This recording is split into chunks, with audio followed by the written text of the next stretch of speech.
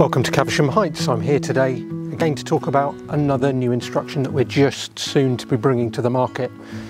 This one is going to suit the family. It's in a perfect location, close to a lot of amenities and a lot of large green open spaces. This is Midsummer Meadow.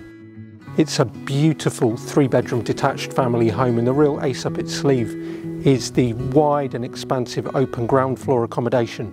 Study, kitchen, breakfast, dining room, lovely lounge and a beautiful conservatory across the back. Let's take a quick look.